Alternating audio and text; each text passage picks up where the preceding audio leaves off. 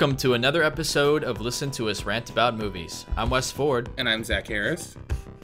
We rant about movies and drink while we do it. On this episode, we'll be introducing a new segment where we force each other to watch a film we haven't seen before, and we'll be revealing those titles to each other, followed by a discussion of what we've been watching lately and an in depth review of Mission Impossible Fallout.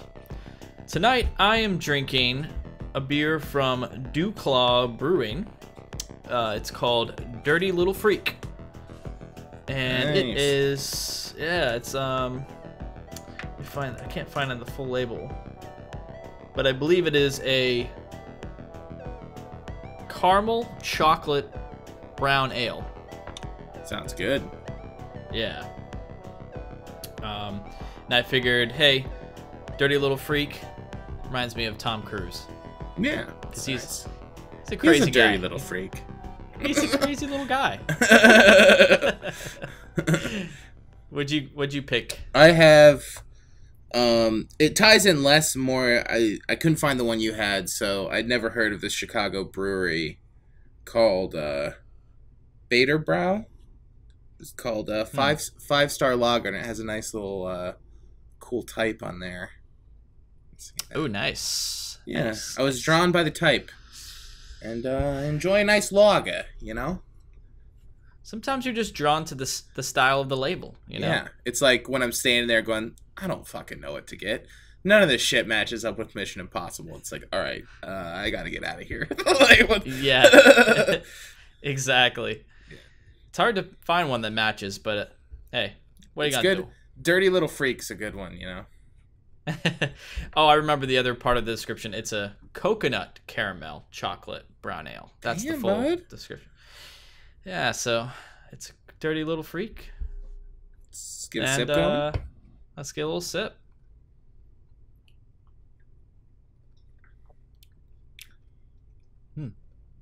How's yours? It's good. Nice. It's lighter than I thought it would be. yeah, it nice. sounds like that would be very heavy. It, it sounds like it. Well, it's not a stout, which is Yeah. surprising. hmm But uh, no, it's surprisingly light for what it is. It tastes Nice. great. Oh yeah. Tastes like chocolate. Mine's good as well. It's very um it's it's just very drinkable seeming. Smooth and drinkable, I would say. It's like nothing too fancy, just like well executed beer. Right. You know what I mean? It's a classic lager. yeah. Just Yeah. fucking classic, you know. Just, just fucking classic beer, you know. oh, anyways, let's move on. so uh is this where we talk about that deal, Wes? Oh, I, you know, I almost forgot, but this is it's too good. It's too good. You, you, I, I just gotta hold you for for a second and say uh, that this podcast is brought to you by Audible. And believe it or not, some some won't. Some won't believe it. But you get a free audiobook download and 30 day free trial at www.audibletrial.com slash LTURAM. Choose from 180,000 titles from your iPhone, Android, Kindle, or MP3. Also, if you like what you hear on this, uh, you can find other episodes on Apple Podcasts, Google Play, Stitcher, and YouTube. Zach, that's a pretty good deal right there. It's a pretty fucking sick deal, I gotta say. And I mean, we've got so many episodes under our belt now, and this actually reminds me, we didn't talk about it, but our last episode was our 50th episode, Yeah, which is crazy. which makes this episode number 51 51, wow, baby. It's been it's been quite a run. It's been quite a run. Yeah, man. Getting them in. And what's uh, also kind of crazy and coincidental is our first episode that we ever recorded was Mission Impossible Rogue Nation. Yeah, totally. I remember. So this kind of yeah, kind of lines up. kind of lines up, kind of fits in, you know what I mean? Yeah, you know, I love it. Um, so let's get to our new segment. We're going to talk about basically what we're, trying to do here is we're trying to introduce each other to films that maybe we put off to the side or um, you know ones we just haven't gotten to but now Mhm. we're going to force each other to watch them right Yeah. and we're going to reveal those titles, and we'll we will have watched them by next episode. So, Zach, what film have you chosen for me to watch? Uh, Tarkovsky's Stalker. Ooh. I feel like uh, it's a good one for you. Um, it's has a lot of very intense concepts, but it's like very understated execution at times, which is Mhm. nice. Um, very strange tone, and I I think you'll enjoy it. Like uh, just the storyline. I think I think it I think it's kind of down your alley, you know. But for me, it was one that I saw in high school and like d- just did not appreciate at all. You know what I mean? Yeah. It was like right when I was getting into movies and like, you know, it's just like eh, whatever. You know, who Yeah. cares? And um, just never got around to watching it again because it's long. Right. So I feel like the motivation to watch the long movie is good because now you're forced to get it in there. You know what I mean? It's true. It's true. It's not like, yeah, it is something I've put off to the side, but um, you know, length is always a problem with us. But if we're forced to watch something, well, I got to sit down, got to watch it. Yeah, gotta know? watch it. You know, it's like ah, doing work right now. You know what I mean? Exactly. gotta do this. Got to. and I'll, I'll probably thank you in the end. So, um, that's a good pick. It's a good pick. Thanks. Thanks. Um, the one I picked for you is a lot less sophisticated. Yeah, that's fine. but uh, it's it was on my top ten of 2016, and it's just a fun that's just really fun. It's it's not long like Stalker, but it's it's pretty short, but a lot of fun. And that is Sing Street. Nice. Yeah, I don't know why I just like missed that that year. Just didn't happen think for some reason, you know.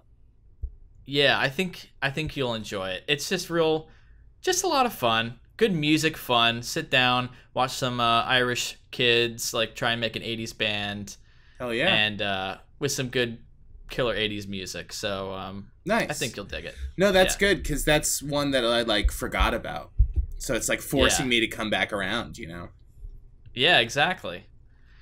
Um, no, yeah, just uh, just have some fun with it. Don't don't uh, I guess build it up too much for yourself. But Yeah, it is one that I just I um at the time it was a big surprise for me, and I enjoyed it a lot. And I think you will as well. Hell yeah. So um, yes, those are the titles: Stalker and Sing Street. We'll have watched those by next episode and uh, share our thoughts. then. Hell yeah. Let's move on to our watch lists. Wait, real Zach, quick. what- Oh, what? No Twin Peaks? Uh, yeah, that was actually gonna be my first thing to Oh, talk okay. about. But I I guess this is a perfect time. This probably Yeah. separate from the watch list, right? Kind yeah, a little more extended, you know, Ongoing. dialogue here. I don't know what else to say to make this an actual segment other than um, yeah, it's I've- fine. you know what- you know what I mean? Yeah, it doesn't matter. I can't analyze the last three episodes. I've watched three Okay. uh, since we talked about it. So last, what? Um, so seven was the last one you watched. So, yeah. So I have eight next. So yeah, seven. I've watched seven so far. Yeah. Um, I'm I'm still digging it. It's great. You know, it's Yeah. um, it's uh definitely weird. Definitely. it's weird. definitely definitely tries my patience. I Mhm. you and I are both busy people, and to it's not it's something I have to make time for. I can't I can't just pop it in because Yeah. it just doesn't work like that. Like I need Mhm. to have time to think about each episode and to like take my time and oh I got hours to kill now. Let me put in Twin Yeah, Peaks. And Totally. when I do when I do that, it's worth it. It's great. Um, yeah, I'm just I, like I said, don't know what else to say other than just uh, I'm enjoying it, and um, I think it's it still hasn't gotten to that point. I think of where it's like, oh, I I I know where this is gonna end up or anything like that. Like I Mhm. think it's still building Definitely. and and it's still laying down the puzzle pieces hmm very slowly. But um I one thing I will say though, I love there's how many characters there are. There's a Yeah, lot of characters. it's characters. so sprawling.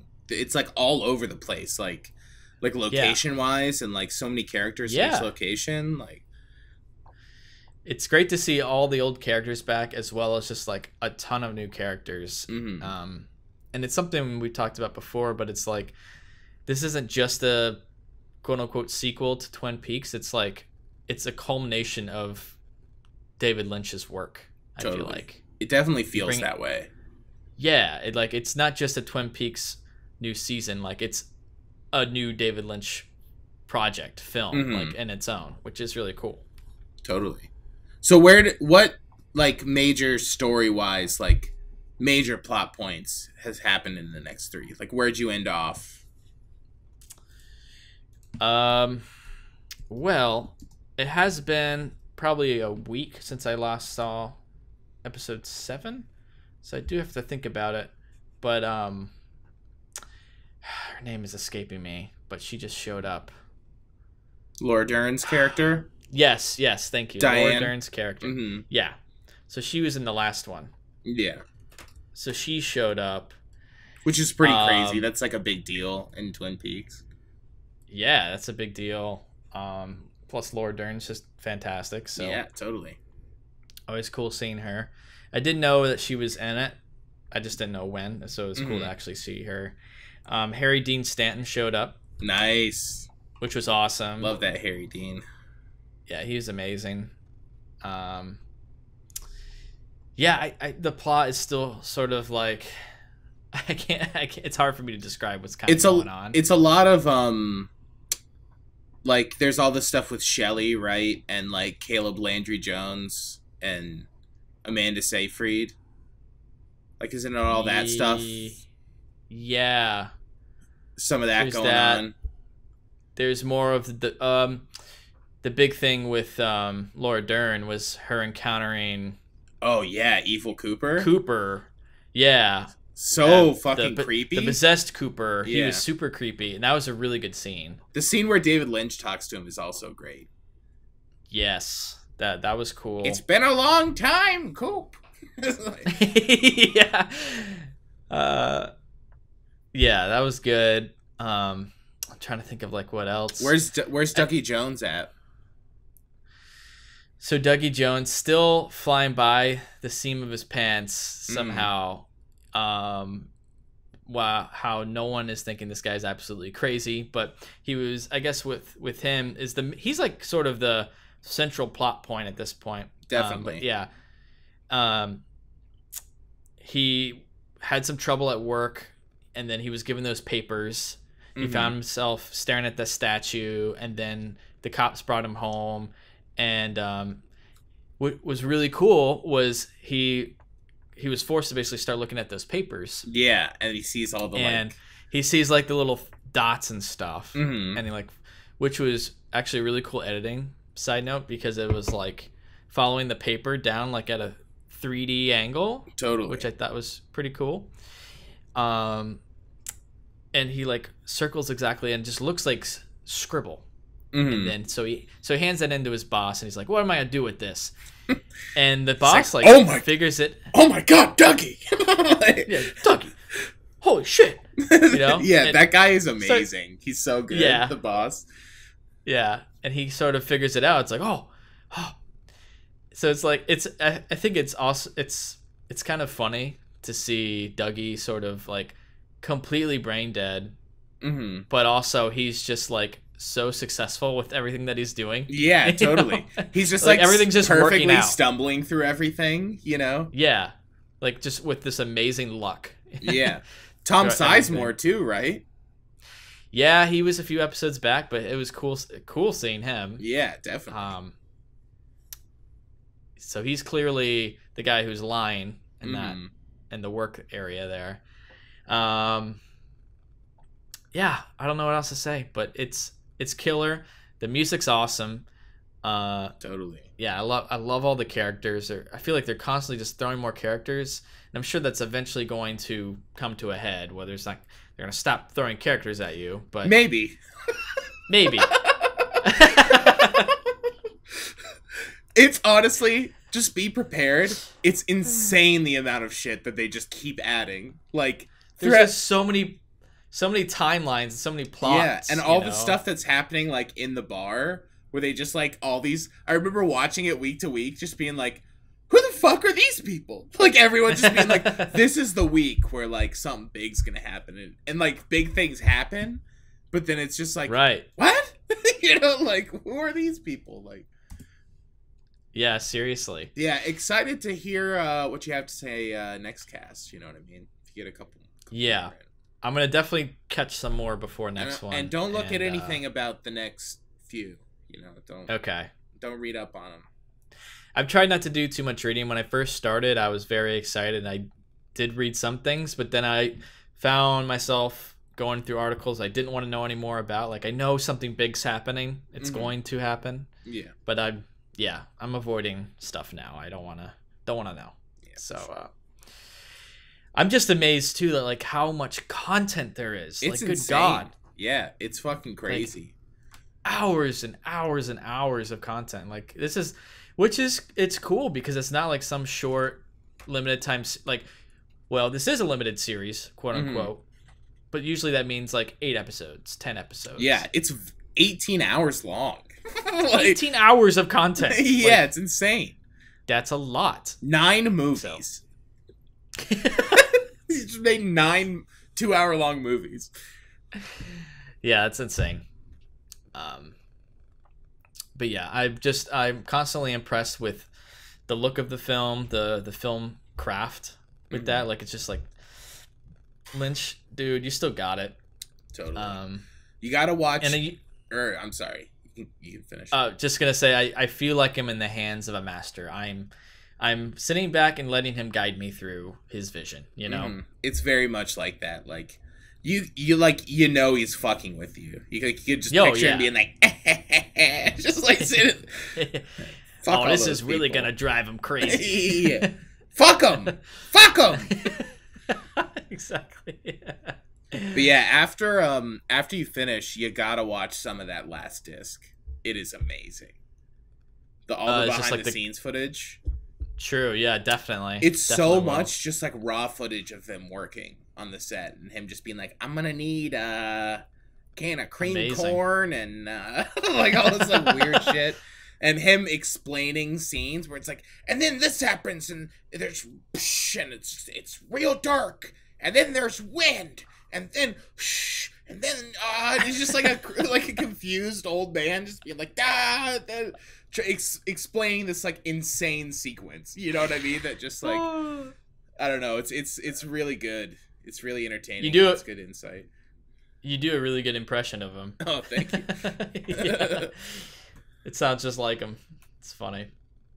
Um, so yeah, that's Twin Peaks. I'm I'm excited to keep going, and we'll Yeah. talk more about it as I. keep keep going. more. You gotta. You can't Yeah. let it Oh, slip away. You know. You gotta Oh, power I won't. through. Yeah, I will for through. sure. Um, what what have you been watching? Um, I've watched a few things since the last episode. I saw um eighth grade.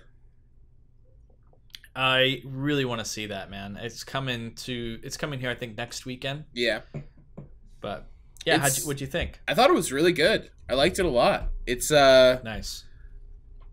yeah. I don't I don't have much negative to say about it. Like, it's just really enjoyable.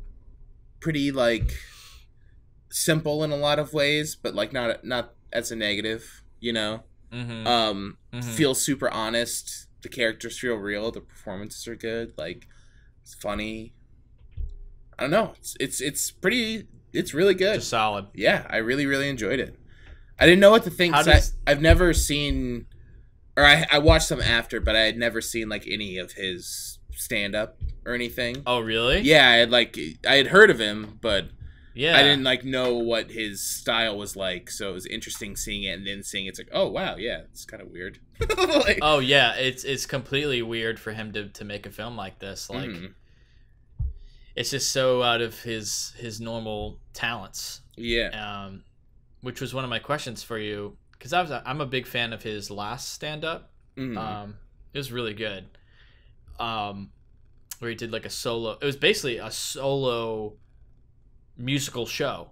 It's like Oh, you yeah? get music, you you get comedy, and It, that's main like the majority of his comedy is involves a lot of music. Yeah, totally. I think I That's watched thing. the one that was two ago. Okay, yeah, he, that's his thing, and he started off on YouTube. He hmm was like a YouTube star. Started doing stand up. He's actually in The Big Sick, Oh yeah, at which is he's just got like a little role in there. He's pretty good in it. it's funny. But um, yeah. So how how did it feel like as a film? Because this is a guy who's never directed like a film before. So Mhm. like, did it feel like it was new? Did it or did it feel very natural and like organic to like the plot of the film? yeah, I felt I felt it felt pretty natural. I'd say there's there's times where things are like heightened, like there's some heightened stuff with the dad that's maybe like Yeah. a little much, but um yeah, I mean, I thought it I thought it felt pretty like real, like an honest look at you know Hmm. what it's like now, you know. I don't know what it's like Yeah. now, but it felt honest. you know. Yeah, it's kind of crazy that like this this young man stand up comedian has Yeah. made a film about a, a modern age like middle school girl going through like adolescence. Like yeah, totally. It's weird. it's pretty ballsy to do. Um, Mhm. But I mean, clearly he had something he wanted to say, and it sounds like it it worked out. Like it paid off. Yeah, you should you should definitely go see it. It's re- it's really good. It's very much worth going to see. Okay, cool. Um, how was the girl in it? She was you- great. Yeah. Yeah, I'm looking forward to it. Looks really good. It's getting a lot of praise, so hmm gotta check it out. Definitely. Um, something else I watched. Let me pull up my Letterboxd diary here. Um, so between our last episode and now, um, I went up to Michigan for a family wedding, so Mhm. I caught some movies like on the plane. Um, and one of those was uh, Loving Vincent. Oh, nice. Yeah, I didn't get to Yeah, catch this last That's year. one that I just but, like um, slipped away. Yeah, totally. Same for me. Um, pretty cool. Like worth checking out. I Mm. the the big selling point obviously is that every frame's a painting. Yeah. You know, that's the whole thing. Um, and I really think that's like its most valuable asset. Like, yeah. there's not much of a plot. Like, there's a plot, but it, it's it's very simple and um, kind of deals with uh, Vincent Van Gogh. That's how they pronounce his name. I've always said Vincent Van Gogh. Mhm. It's actually Van Van Gogh. Um, so it's a mi- common misperception, uh, misconception. But um, anyway, so it's about his mysterious death and and what takes place after that, which is kind of Hmm. cool. And trying to figure out the mystery. And this guy who's trying to deliver this letter. Um, but anyway, uh, the art is fantastic. It looks just like his work, and it's it's and different scenes sometimes take on different art forms. Like Nice. there's like flashback scenes that are all like in black and white and like a different style. mm-hmm. That's pretty And they're cool. all hand drawn. Yeah, it's really cool. Um, but the majority of the film in color like deals with like his actual style, and it looks just like his artwork, so it's really cool. hmm But yeah, anyway, just a a a, a, a movie worth checking out just for the fact that like every frame is a painting and it deals with like the mysterious death uh, of this like really good painter that we've all heard about. So um in that respect worth checking out. It's a good plane movie. Good Nice. movie to watch on the plane. See, w- it seems like the animation is like so intricate, you know, small screen. But I guess you're really close. Yeah. Uh well, a lot of the film too is like they shot it It's like This is one thing I didn't. Well, they shot it on cameras and they painted over it. Yeah. A lot of the stuff. hmm Um, I didn't know there were some like big actors in it. Like, um, Oh yeah, yeah. I had no idea. yeah, like, uh, and you can their their likenesses in there. They're in the painting. Mm. It's um, Saoirse Ronan from Lady Oh, Bird. nice. She's in it. Um, I can't remember the others. They're they're people you've seen before that, but they're not like huge name stars. Yeah. Trisha Ronan's probably the biggest one. Um, like the guy from Game of Thrones. Um, that doesn't narrow it down. yeah, there's a lot of a lot of There's a guy there. from Game of Thrones that's in it. He has a smaller part. I forget his name. But anyway, um, yeah, it's cool in that respect that like it actually had they they had the actors like play out the scenes, perform, and then they like painted over that and like extended the scenes with actual paintings. for sure. So that's pretty cool. Hell yeah. All right, what else I get? Um, I saw Three Identical Strangers. It's a film I want to check out. Mm. I would say that you can you can wait. Yeah. Yeah, it's fair um, enough. It's definitely a very interesting story, but I mean, the trailer alone is like, oh shit, I want to see that. yeah, it's um, it's just like really weirdly done. Like there's they shoot like Huh. reenactment kind of things in the beginning because like the beginning Yeah. is like him telling the story about how he found out he like went to college and he found out that there was someone who looked just like him because everyone thought he was this different guy so they like shoot Yeah. it like obscuring his face and stuff and there's this whole sequence of him driving and like i was like Hmm. oh whoa i wasn't expecting this and it's because Right. it's just not in the movie again they just do it in the beginning and then that's it and it's like what like just don't Really? don't do that you know and then they're also like it seemed like there was not enough old footage of them there just like wasn't that much material for them to like use. So they're Yeah. constantly reusing the same stuff. But it the way that they frame it is like reusing it at times where like they reveal something to you. So it ends up feeling like like a flashback and like a CSI episode or something. You know what I mean? Where it's Oh, just really? like, and then this happened. It's like bum ba bum bum ba and it's like cutting back to the stock footage and replaying clips and like zooming in on photos, and it's like, yeah, are you talking about that like thing that we saw twenty minutes ago? Like I've been watching the movie the whole time. Like I don't, you know what I mean? It's like Yeah. I know what you're talking about. Like why are you showing me this? It's really weird huh. It's kind of a bummer because the story's very interesting but they also like i don't know make this whole point about like what like uh well i don't know if i should I guess it's fine towards the end that like everyone everyone looks at their similarities but they should be looking at the differences you know like between them and that's like where Uh-huh. everything stems from and it's Yeah. also like yeah but like if that's the lesson like you didn't do that Right. You know what I mean? You just like said what everyone should do, but you're perpetuating the thing that you said that they shouldn't do. Just Hmm. kind of like, huh? I don't know. I Yeah. I still think it's like an interesting watch. Like if it pops up on Netflix, it's like not, you know, if you're interested in the story, it's worth watching, but it's just not a very good movie. It could have been like a 25 minute like short or I could have just read about it. You know what I mean? And been like, yeah. wow, look at this crazy article expose piece thing. You know what I mean? Yeah. It just kind of doesn't really justify itself. Feels like it's scrambling to try to fill the time. Interesting. So it seems like a very sort of like roughly crafted documentary. Yeah, I didn't think it was done very well. Uh, it's a bummer. Yeah. Gotcha. So that's one I'll hold off on then. Yeah. Won't try and catch in theaters. Worth watching um like when it comes out. Like if you could rent it or if it's on some streaming service, yeah. which I'm sure it fucking will be. Like I'm sure. movie. Yeah. It's one of those sure movies, you know. Yeah. Yeah. All right, cool. Three Identical Strangers. Um Another movie I watched on the plane was um The Death of Stalin. Oh, nice. Yeah. How was this that? is a movie I heard I heard a lot about this movie. hmm Um for some reason I kept like putting it off even though it was like available to me for rent and stuff and I was like I'm on the plane. Now's the time to do it. yeah. And I'm It's really really movie. glad I I'm really glad I did. Yeah. Have you seen this movie? No. I almost went to see it in theaters, but I ended up not going. it's you got to check it out. I think Mm. it's it's on Prime now for like four bucks.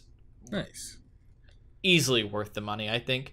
Um, probably one of my favorite, probably up there was um, like one of my favorite like films this year.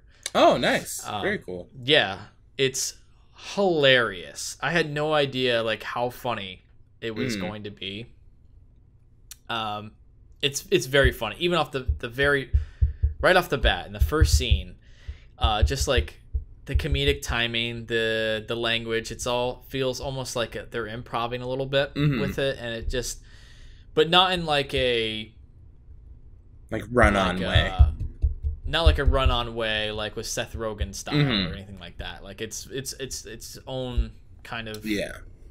theatrical uh, performances.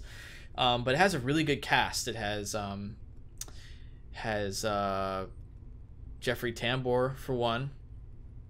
Um, I know that he's kind of not in good light right now, but he Yeah. does a good job in it. Um, Steve Buscemi does a really good job Nice. Love that, it's like a Steve. major part. haven't seen him in like such a big role in a long time. Yeah. Like, he has a good, big, beefy role, and he does pretty good in it. Um, Matthew Palin is actually in it, or Michael Palin, sorry, oh yeah, from Monty Python. from like yeah, which is like Mhm. oh okay, cool. Um,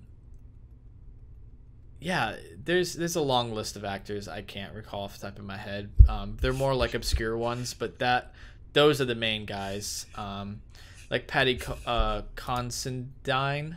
oh yeah. Um, yeah, you like you've seen him before, and hmm Hot Fuzz and stuff. Hot Fuzz exactly. Um, but yeah, it's really good, and I I actually really enjoyed. I didn't like think of this right off like when I first started watching it, but near like the halfway through, I was like, no one's doing an accent, which is really interesting because it all takes place in Russia. They're Mhm. all um, basically right under working for Stalin, and they have their like normal in real life accents Yeah. like whatever their accent is in real life, they do that. So there's no like really bad like Russian accents or anything like Totally. that. Like That would is- ruin I, it. res- yeah. I like that. I like I like that they like the American guys have their American accents. Whatever. It's it's a comedy, and so it totally doesn't feel out of place. It feels Mhm. natural. That's why it took me a while to realize it, but um, it feels fine. And I actually appreciate that they just like didn't do that. Like they didn't force like the Russian accents. They would Yeah, just totally. that would have been a main aspect of the comedy, and they just took that out completely, Mhm. which I kind of respect that. Definitely. Um, Isn't it um Armando Iannucci? Armando Ian, Iannucci, yeah, Yeah. he's a director. Yeah, he's good. Um, yeah, he is good. He's done like a lot of comedic stuff, and um, it's cool to see like him make this kind of movie. And um, yeah, I really enjoyed it. And um, basically, real quick, the plot of the film, obviously, death of Stalin. Stalin dies in the beginning. It's not a spoiler. Mhm. It follows the what happens after that, like how the biggest part of the comedy is like these people are just still terrified of him even past death uh like they're because stalin just kills anyone that yeah. he doesn't like so like anything that's against the motherland anything that's like against the comrades of the soviet union hmm if there's like one negative thing that's said you're killed so like they're constantly like trying to up each other like on who's better like who's the better like comrade who's the better like patriot Yeah. and that's like the whole thing it's like it's very much like a an entourage uh group of people that are just trying to like outperform each other and um yeah it's really really fun to watch so worth Yeah, I checking got out I gotta sure. check that out. We've been meaning Yeah. to watch it. Slip through the cracks. It's very funny. One, I think one negative thing I'll say about it is runs just a little too long. It feels a little too long. What's that? What's the Um, TRT on that bad boy? It's an hour and forty-seven minutes, so it's under two hours. Mhm. But Still though, sometimes the sometimes end- movies can be ninety or an hour forty. You know yeah, I mean? near the end, it's sort of like okay, wrap it up. And there's like a couple scenes back to back where it feels like like it could have ended, and it kept going. But it's such a minute thing. Like it's the comedy is so good, the acting is so good, um, and it like it fits in the environment as well. Like Mhm. the production design is spot on. Um, the only thing that sticks out, like I said, is like their accents. Like no one has a Russian accent, no one's speaking Russian, but whatever. It's a Yeah. comedy. So yeah, it feels feels like a classic comedy that would have come out of not this era, almost like it would be 70s, 80s style Mhm. of this like group comedy stuff. So um, yeah, anyway, Death of Stalin. It's on Prime now. Check it out. Is it free on Prime? Don't think so, just because it's a new release. Didn't know if You it just popped. Sometimes they just pop over, you know. Sometimes still, I- still I- worthy of renting. Just was curious, you know. It's worth it's worth renting. Yeah. It really is worth the money.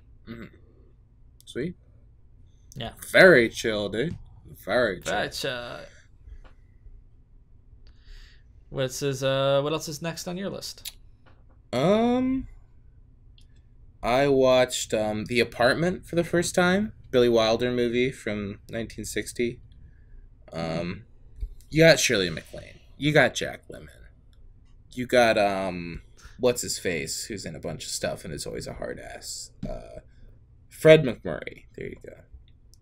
Um.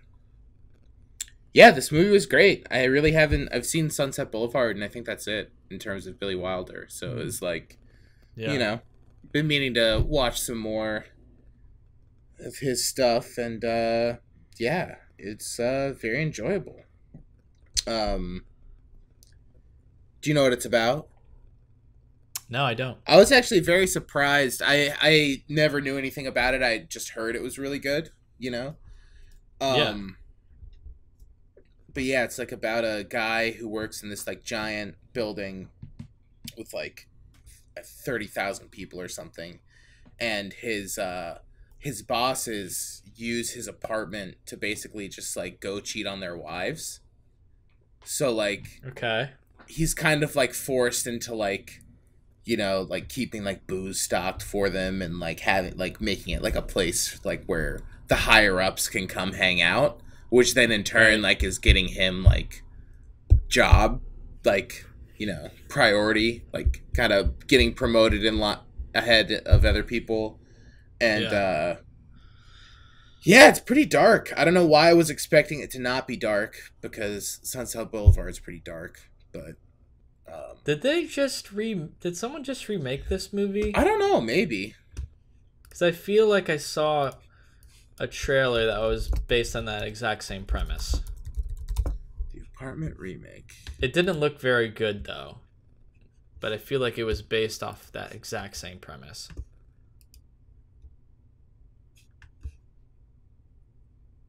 Maybe this sort of took that base idea and like did something different. it. loft Poss- yeah, possibly. Five married guys conspire to secretly share a penthouse, a place where they can carry out hidden affairs and indulge their fantasies. Fantasy Yeah, comes that's to night it. where they, when they discover a dead body unknown in the loft. Maybe I'm thinking of that movie. Pretty, pretty Gotta- similar like setup. It's got a pretty terrible Metascore of 24. That that makes that's a pretty bad. movie. yeah. We got Um, Karl Urban. Who else you got in here? It's got a good cast. James, James Marsden. Marsden. Who the fuck is Wentworth Miller? Oh, that guy. I never, What a fucking never name. heard of him. Eric Stone Huh. Street. Interesting. Yeah.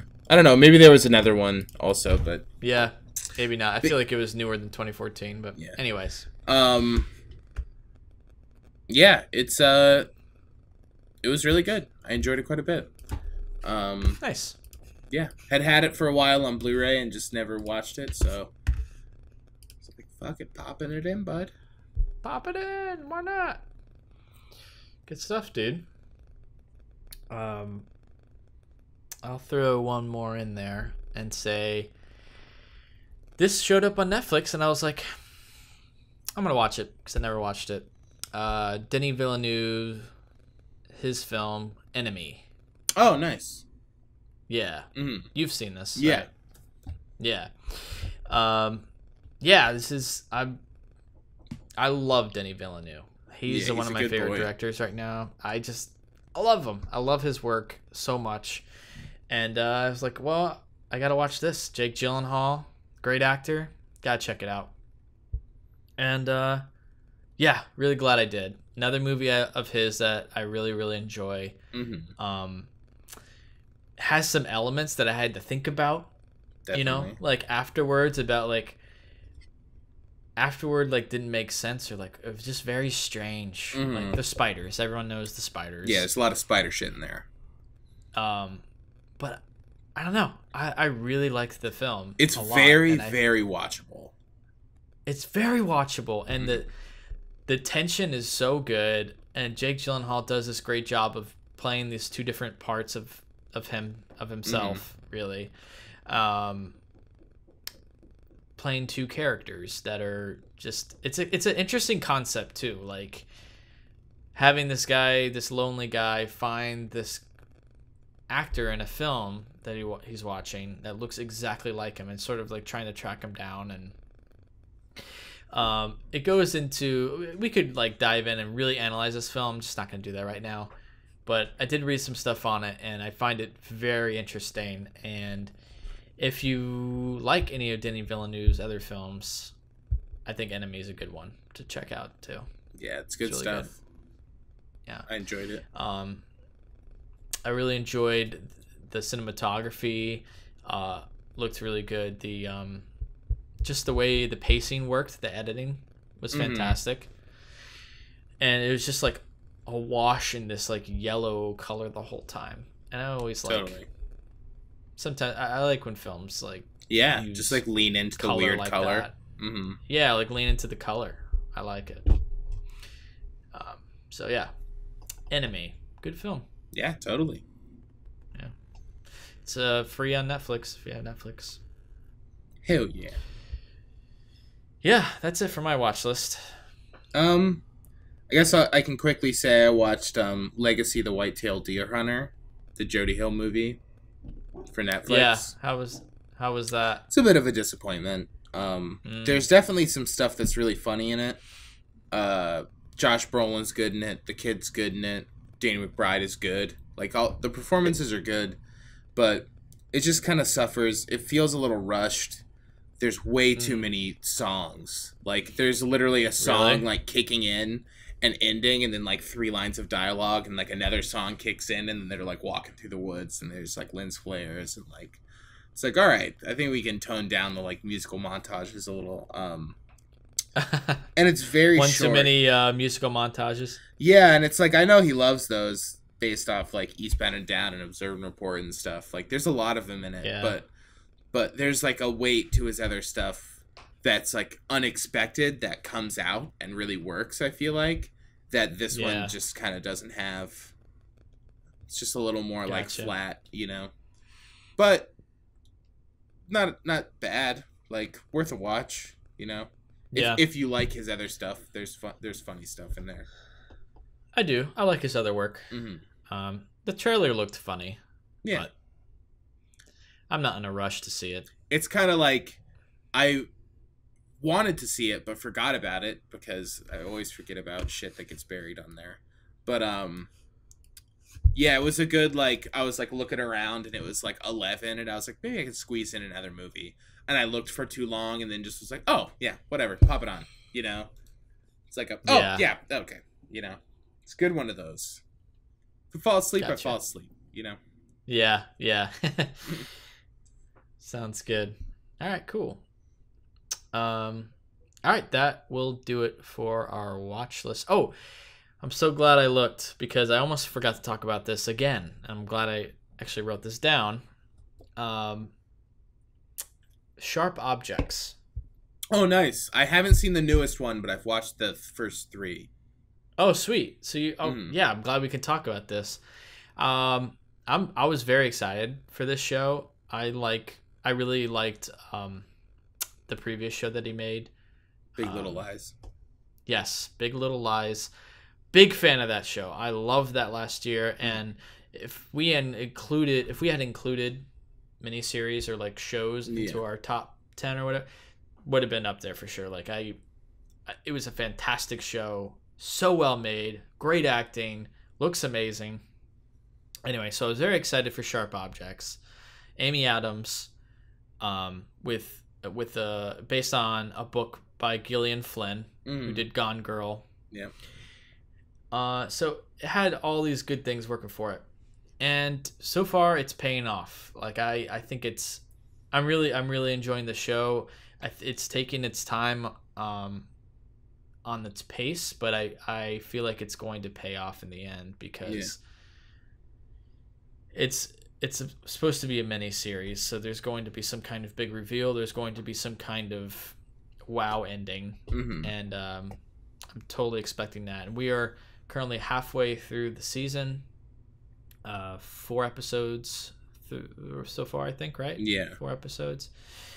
Um, and I, I really am, am enjoying seeing Amy Adams play like a darker role. Yeah, well. she's great. Um, she's she's just a- an amazing actress. She's Definitely. fantastic, and um, to see her in this kind of role is different for her, and uh, I think she's doing a good job. And um, I just sort of like I like Southern Gothic style things as well. Like Mhm. I like mystery stuff, and I really, even though this technically takes place in the Midwest, it feels like a Southern For sure. Gothic. I mean, Mhm. they even have Southern accents and stuff. I, Yeah. I don't know how they really talk in Minnesota, but It's I don't think kind of. it's like a. I, like thought it was in Southern. Missouri. Missouri, thank you. Yeah. Yeah. Well, I don't. I've never been to Missouri, but I know from Illinois that like it doesn't feel like the South here, like in Chicago and like West and just South, but like Southern Illinois feels more like the South than the Midwest from my experience. Interesting. Like Okay. it, it, it gets a little more terrain and like a little everything's a little more sparse. Yeah. So it, it yeah. definitely has more of a southern, you know, vibe, which is pretty close to. I don't know where they're at in Missouri, but you know, we share a thing with Jake. Similar. Yeah. Yeah. Um. Yeah. So I, I don't. I think the town is fictional. hmm It's called Wind Gap. I think it's like a fictional little small town. Um. But yeah, it's sort of a like these murders are happening in this town, and she's there to report on them. She returns home and starts to encounter her dark past, and um, I'm enjoying to see where that where that's going. And, Yeah. Um, It's been really good. I think there's there's a lot of really cool editing that I think on paper in different hands would not be good. You know what I mean? agreed. Like Completely. the way that they're cutting it, they're getting a lot across just in edits that take no time. Like it feels very um it feels very like freeform but also like economical with like the way it uses time like that. You know what I mean? How they're just Yeah. kind of like showing you little glimpses and you're kind of like piecing everything together, but it's not like winky. It's just kind of natural and it's happening all the time. And I think it also plays Yeah. into her character and the anxiety, obviously, and like everything to do with that. And um, it's really, really good. And it makes me want to watch Big Little Lies because I never saw that. I can't recommend it enough. I was- It is. It's very different from this show, hmm but it it has Jean-Marc Vallée, the director, Yeah. sort of has like his similar vibe. hmm He's really good with memory stuff, and I think that's why he they he he was picked for the, the director of this series because he's really good with um f- like people do flashbacks, but he does it in a very unique way Yeah. where it doesn't feel like um doesn't feel like a gimmick like it's part of the Mhm. storytelling like memory kind of shifts through what's what's current and what's past and what you know and this show does a lot of that like flashbacks there's a lot of them and to Mhm. do them in like a unique way like this and they're sort of becoming as the show goes on like they're becoming more frequent and like quicker flashes and Yeah. I- More I graphic that's as how- well. more graphic. I feel like that's how memory works, right? Like Mhm. in when you're just sort of walking, especially if you go back to your old hometown where you're from, you're just you see quick glimpses of the past uh, in your head, and it does a it, the the editing of the show does a good job relaying like Amy Adams' character, like what she's feeling, what she's Mhm. remembering, and um, yeah, I think that's just it's really well done. Yeah, I'm glad I watched it. I was um kind of a pooper and just was like I didn't like Dallas Buyers Club, so then it was like, eh. I need to watch that guy's movies. And I'm glad I thought I Dallas came around. Buyers Club was. Sorry to interrupt you. No, it's okay. Good. That was I was done. Um, uh, I was just gonna say, like, I, I'm surprised, like, you didn't like that. I, I didn't mind it. I didn't mind Dallas Buyers Club. Thought it was a little much, personally. Yeah. No, that's another discussion. I'm not. Yeah. I'm not like a great defender of it or anything. No, no. But, um, It, I mean, it's fine. I didn't necessarily. Oh, I don't know. Yeah, it was Yeah. weird. I'm. I'm basically. I'm glad I came around on this guy, and it makes me want to watch um, Big Little Lies also because I really am enjoying Sharp Uh, Objects quite a bit. yeah, dude, you you really should check out Big Little Lies. Looks great in HD. Like, it looks like a four. Like it needs to be like seen on 4K, but even just like HD streaming, like looks fantastic. Um, Hell it has like a really really good color to it Mm. and just great performances all around and um, yeah anyway it's another mystery type thing in a town yeah. um, yeah sharp objects it's on hbo currently playing you can catch up and watch the new season or the new episodes every sunday at 9 i believe It's good 9 shit. p.m eastern that is yeah So, real quick, before we Yeah. get into this review, yeah got a little something that we can maybe chat about just for a second here. okay So last time we had this movie pass conversation, right? uh, this is a good thing to bring up So It's a good thing to bring up. movie pass is basically fucked. So when this Yes. movie came out, they got fucked. And I was gonna ask you how it affected you on this. so yeah, I was gonna tell you my my process that the many stages I went through. So it- oh my god. it's um it's on Sunday. I'm gonna go see it, and it's gone. It's just like not available. It's not on the front page of Movie Pass.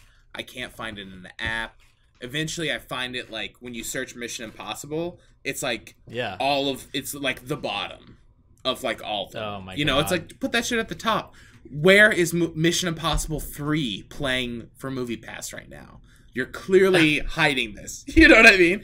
And then you oh, click Oh, they, on oh it. yeah. You click on Definitely it hiding it. and it's grayed out everywhere in Chicago. There's one theater in the in Oh. the like the suburbs that is playing it. Far away. And it's like fuck that, man. Like that's bullshit. So Yeah. then I get some email from them saying not mo- every movie is going to be available at every movie theater and surge pricing is enacted. Like we're going to do that Uh-huh. today.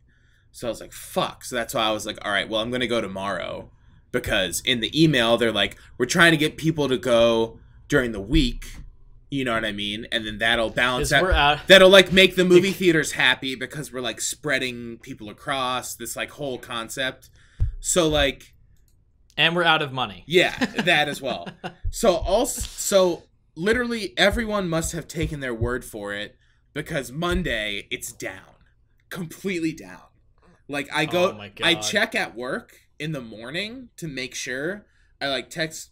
I was going with my roommate TJ, so I was like, "All right, TJ, you want to go like 7:30 show?" And he's like, "Yeah, let's do it." Check on the app; it's there. And then the thing is, though, I check on the app. I can't go see Mission Impossible at 7:30, but I can get a free ticket to Mamma Mia. Here we go again at 7:20, and go Uh, into Mission Impossible. So that was the plan. uh, so then I get to the theater, and I'm walking in, and I go, "Oh, I better check in the the movie pass," you know. So I'm pulling it up as I'm walking, and it just says no theater or like no show times of this. And I was like, "What?" Or like something that sounded really weird when I clicked on the Yeah. theater. So I like close it, open it, same thing. Close it, open it, same thing. And I was like, "All right, you can go in. I'm gonna like restart my phone and like see," because it didn't feel right, you know.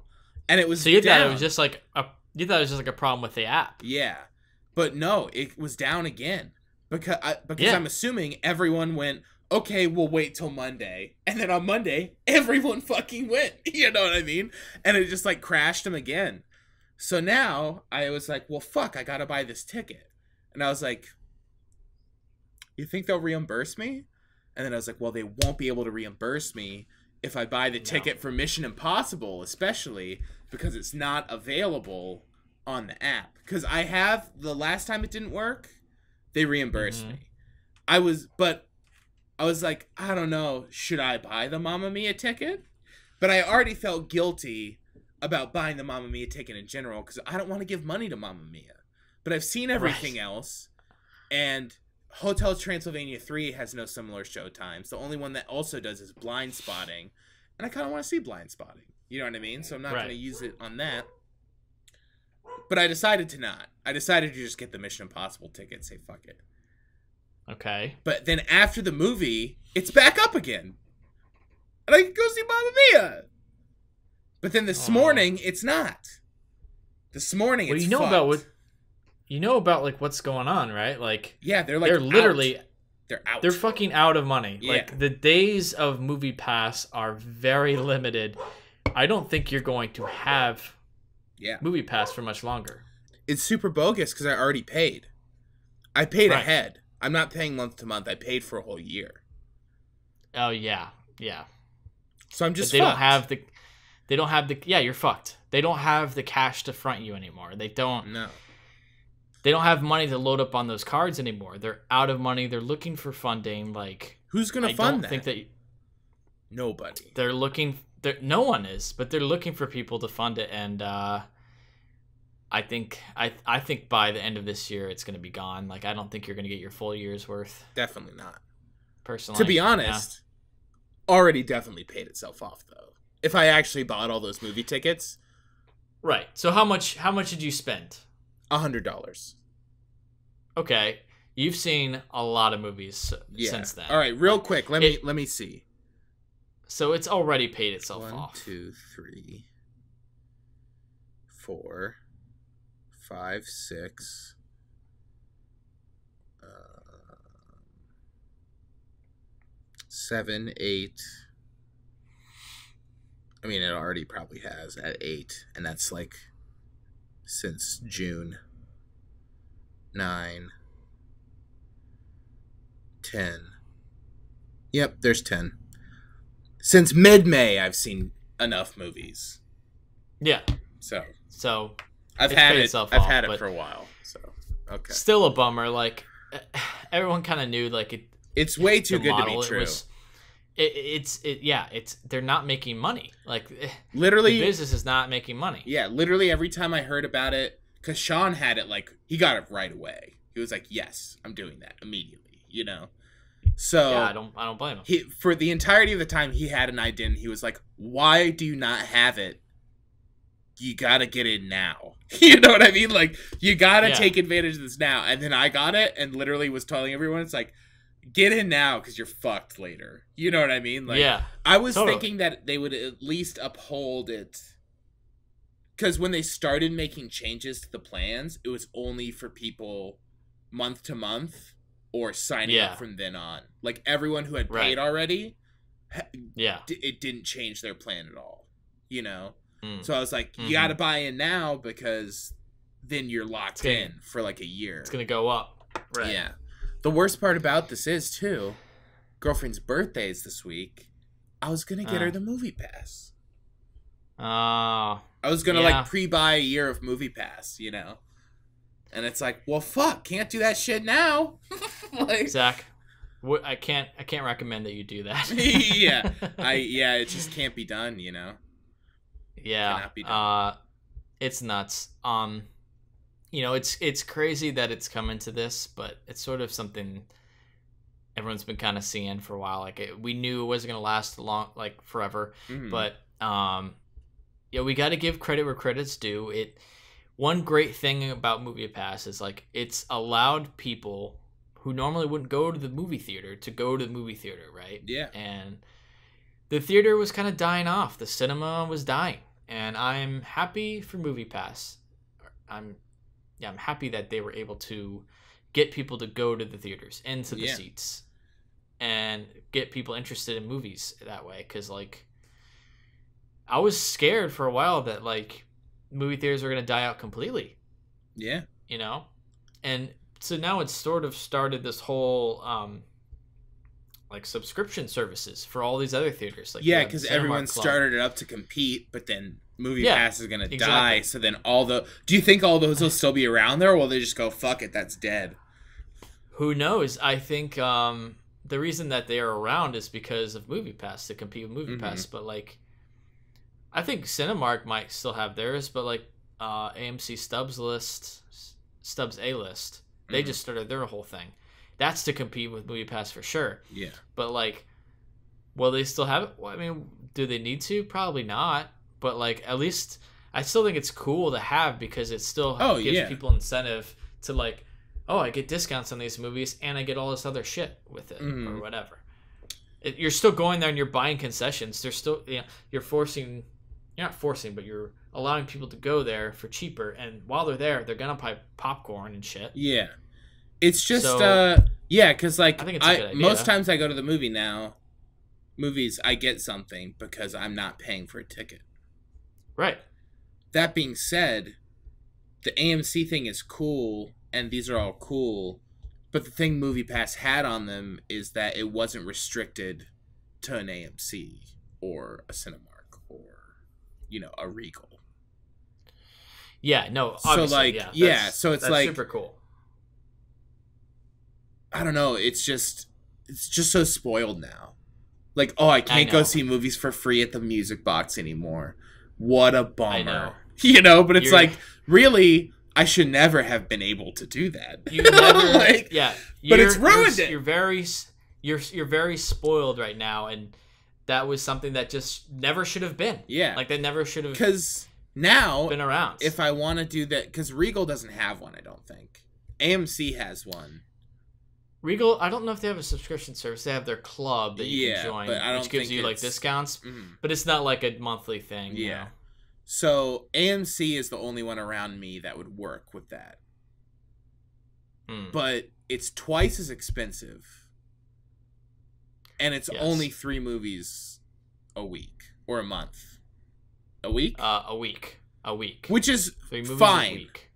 three that's movies a week is fine but That's the- a more it's the- it's realistic twice as expensive Charge. that's like Yes. you're paying twice as much for less than half and it's restricted to one chain which like around me there's the amc downtown like in the loop that is a pain in the ass to go to or there's one Yeah. outside of chicago Those are the only AMC's. yeah they're downtown or they're not in the city So it's not worth getting for you. yeah which It's i only go worth to the getting- one outside of the city because it's a Yeah. short drive but there's also regal five minutes away from my house or less It's only worth Like, getting the AMC Stubs A list if like that is your main theater. Like if you basically if you're loyal to AMC and they are the closest you go to an AMC the most, 100% hands down worth it. For me, there are AMC's there are like several throughout Orlando, but Mhm. none of them are like the main theater I go to. They're far away. I have Cinemark next to me and the next closest is Regal. Mhm. So, not worth getting. Um Cinemark Club totally worth it for me. yeah Nine nine bucks a month. You get free. It, it- it's still more than MoviePass, but it's still I can reserve seats ahead of time. It's nine dollars a month. I get twenty percent off uh, Yeah. concessions, hmm and I get one free movie ticket um, per month, and no online fees. yeah So because really there's it's guaranteeing you go to one movie a month and it's the price of the ticket of the movie so it Right. 100% makes sense to go to yeah, and all other movies. If like, I've used up my free one for that month or whatever, mm. they're all discounted anyway. So they're all Yeah. eight bucks no matter Mhm. what.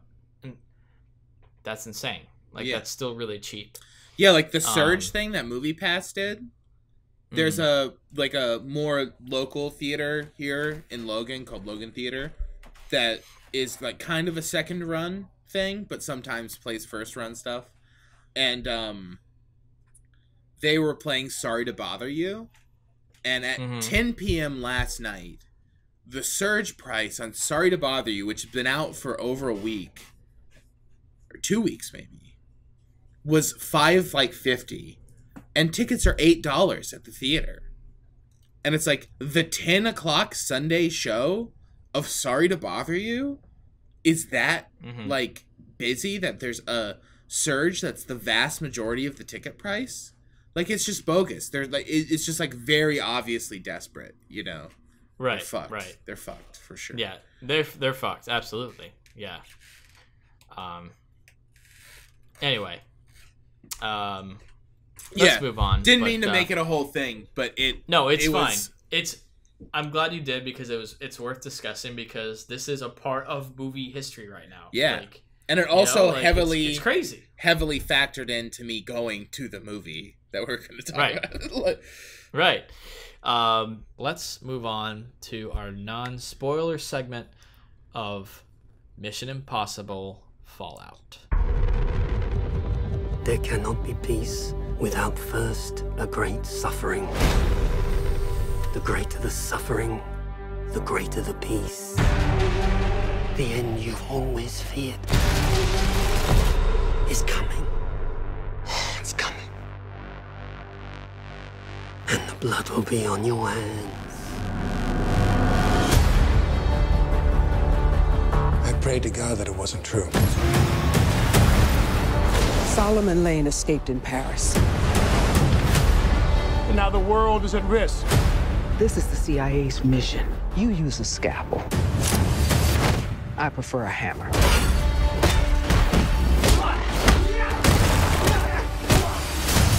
This is a bad idea. Is it ever a good one? Honestly. He's not just some observer. He's an assassin. I don't trust anybody outside of this room. You go rogue, he's been authorized to hunt you down and kill you. That's the job. No hard feelings. Which way, Benji? Turn left! What are you waiting for? I'm jumping out a window! What what format did you see this movie in? 2D. Normal. Just like a regular 2D theater. Okay. I I threw out the extra cash to see this in True IMAX, Nice. and uh, I'll just say, totally totally worth it. Yeah. You gotta see it in IMAX just for the experience. hmm But let's talk about um, just our general thoughts. I don't want to spend too much time and non spoilers, so let's just general thoughts and then we'll move on to spoilers. For so, sure. um, what do you think of the movie? I thought it was good. I liked it a lot. Um, uh, my main criticisms would be that it was a little long, and Hmm. by that point, like the the last segment, I think got like a little goofy, like the last big set Hmm. piece. But Hmm.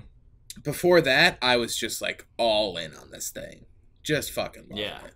Like, there's a lot Yeah. of really good stuff. I think it they it, it's hitting a really nice tone where they definitely know how like outrageous it is, and they're Right. like playing with it and having fun, but yeah, it doesn't feel like overly stupid and it kind of like even though it's always like a plan and a plan and a plan you know what i mean like Yeah. you can always count on someone having an alternate plan that like Yes. ends up winning even if it's good or bad that's just gonna happen like the entire movie you know what i mean yeah, but like i think there were a few times where it did kind of subvert what i think was what i thought was gonna happen um Yeah. which is nice but um yeah.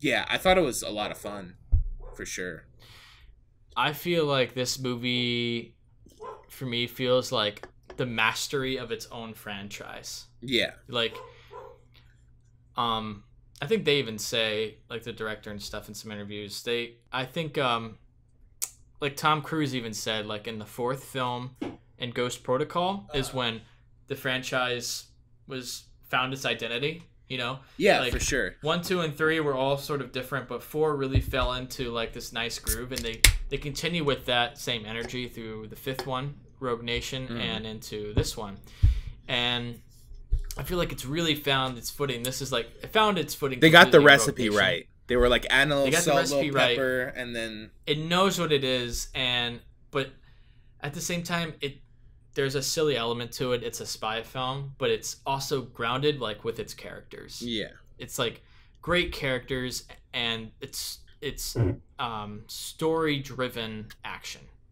Mm-hmm. And that's what I really like about this movie. I get into my opinion, I loved it. Nice. I loved it. Um, I think it's the best one out of all them films. I feel like they've always gotten better and better, and this one's sort of like it feels like a mastercraft of the franchise. Like they've all sort of been just like fun films that are like you know Yeah. Always always good to watch, great action stuff. But this feels like a whole other level compared to the other ones. Like incredible action, like I said, story based action um, that are driven from these characters and the story itself and the plot. It's not just pointless action for no reason. Like there's motivation behind them. Mhm. There's these great character arcs, um, and then the the skill level of the film in this, like just the directing, the cinematography, um, just everything about it. The score was amazing. I Score thought, was like cool, in this yeah. one. It was a Um, little zimmy at times, but for the most well- part, very good. it was very Hans Zimmer. In fact, I felt like it. A lot of it sounded like The Dark Knight. A lot of the more like somber moments, or like Yeah. moments where they're like planning and it's like pushing in. Yeah. like, it felt Well, it had a lot of like droning sounds, Yeah. but it also had like it played on the drums, the Mhm. spy drum, Yeah. a little bit, and yeah, Yeah. Well, I like that a lot. Yeah, it was overall cool. the score is great. definitely. Um, and just the biggest thing of this movie, Tom Cruise, and this is why I got this beer, dirty little freak. He's absolutely out of his mind. Yeah, it's fucking crazy. how often can you say like this billionaire actor is literally putting his life on the line for the entertainment of us like Mhm. for us it's like- amazing. It, I think it it's incredible it kind of har- harkens back in a way. Like they feel very modern, but I like that they um they're like depending on the stunts. It's spectacle. You know what I mean? Like yes it's not gonna have the same impact if it's not real. So let's fucking do it. You know what I mean? And I think that mentality They is know that. really refreshing in a movie like that. Even though it's like I don't know, Rogue Nation was however many years ago, like, and I think that's Yeah. carried through. But it's just something nice to see the like attention, and I'm sure that there's like it's cross cut with real and a bunch of you know composite m- like it's mostly real and and um according to some interviews and stuff like if tom cruise has almost this obsession mm, with making sure that you know that that's really him and their camera is set wide like when he's hanging from the helicopter there's Mhm. lighting on his face when he when he jumps out of the plane like they're making sure that you know he's really there because that sells it, he you know? really is he's really doing that yeah and when you know that it's just like that's part of the spectacle it's just like oh Totally. oh my god it's insane it's you know, cool. like- it's like what It's these really movies cool. should be doing.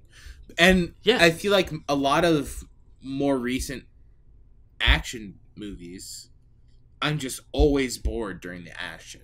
You know what I mean? It's like yeah the other things are why I'm there. Like I, I don't like it because it's just like I don't know. It's just like a bunch of like the fucking ending of like Bat. Not that this is a great example, but like Batman Superman. It's just like what is even going on? Oh, yeah. Like you know what I mean? It's just right like like I feel like a lot of modern action just kind of like and it feels very fake It's like green obligatory and they're not like really putting any care into how it's like like crafted as you're seeing it. Right. You know what I mean? oh yeah But him being in these scenarios, like really selling it, really makes Mhm. the action good.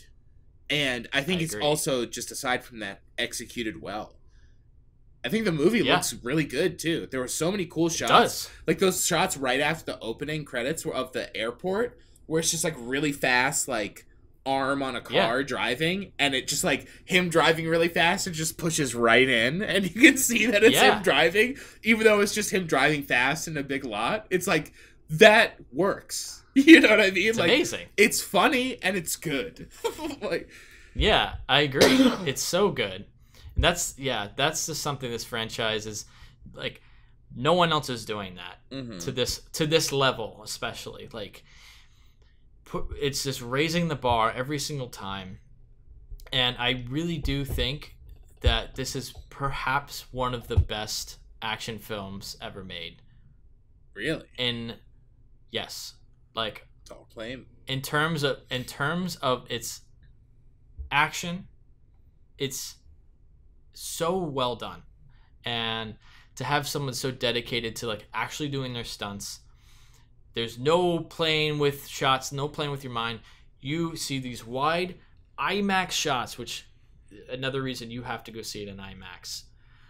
Those scenes where you just have that full frame holy shit you're looking down at tom cruise and he's literally dangling from a rope over mountains. It's like crazy. Yeah, it's So- insane.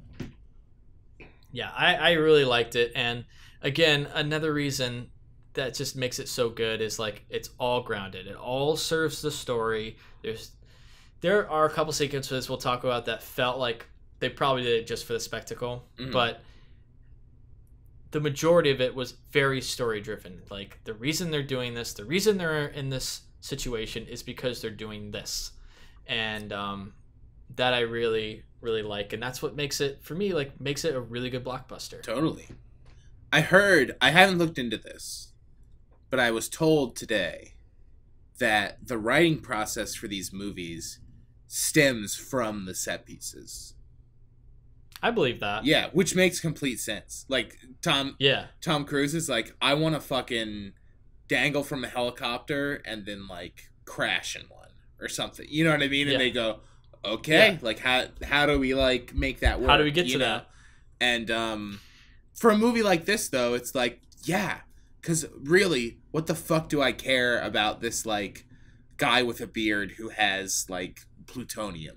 You know what I mean? Like, like I really don't give a shit. Like, what are you there for? You know what I mean? See Tom Cruise do Yeah. some fucking crazy shit. You know, like but you have that but also there is the reason why like they, because you get into it. You know, like I, I'm just You're saying, right. like that's not why you go, but it of course it is justified while watching it. Like it, right it doesn't necessarily detract that process. It doesn't seem like for me. No, not at all. Um, and another another thing about this film too, which is really interesting in terms of the entire franchise, like this is the only like like real sequel. I feel like you know, like Mhm. they all stand on their own. Definitely. This is a direct. This is absolutely a direct sequel of Rogue Nation. You have the same I kind of wished I watched and the repercussions of that. Rogue Nation again before I saw it because I was assuming it wasn't going to be really.